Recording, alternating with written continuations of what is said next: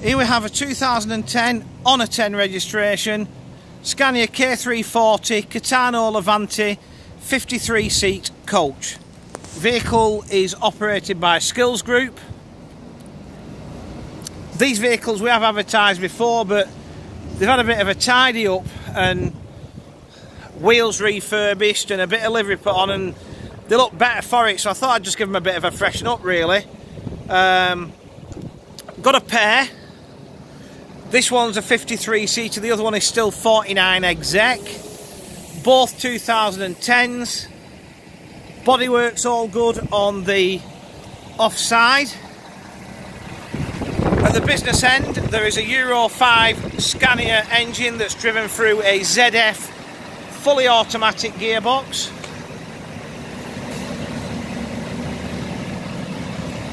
Again, back corners, etc. All look fine. No exterior bodywork issues at all. Power operated lockers and the good thing about Levantes is loads and loads and loads and loads and loads of luggage space because there's never been a toilet intrusion so you can convert this to a 70 and still do your residentials, your PGLs, all that sort of stuff. You wouldn't have a luggage issue. We have LED destination displays to front, side and rear.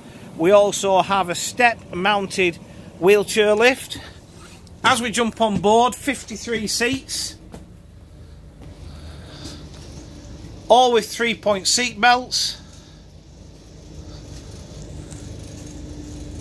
To be honest, these seats, the half leather, they won't be everybody's cup of tea.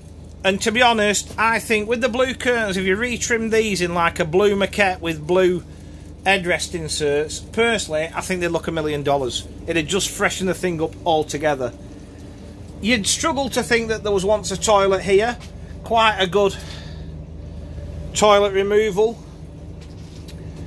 Obviously the other one has a rear floor mounted toilet in the corner. Fully air conditioned.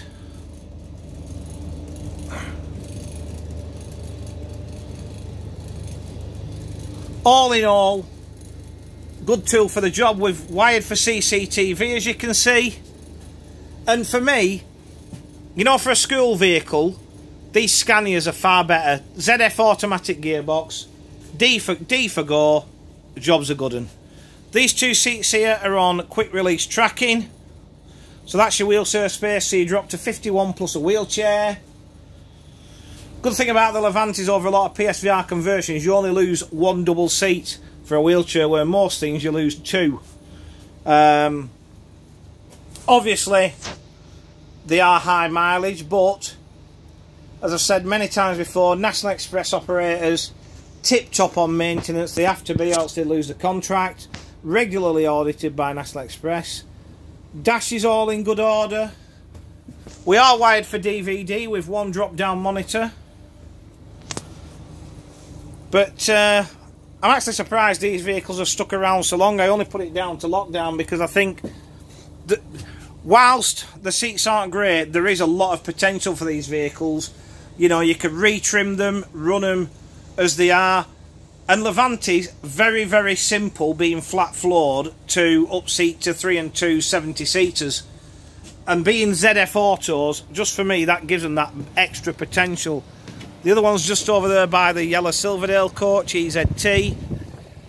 Little bit of a note for that. A lot of you'll remember it because it used to run rounding with a big green shamrock on the back. It was one of the Irish uh, St Patrick's Day National Express coaches and uh, Corgi released that one as a model. Just bit of a bit of useless information. So to recap, this is one of a pair of 2010 Scania K340iB Caetano Levante PSVAR compliant coaches. This one a 53 seater, the other one a 49 seater with a rear floor mounted toilet.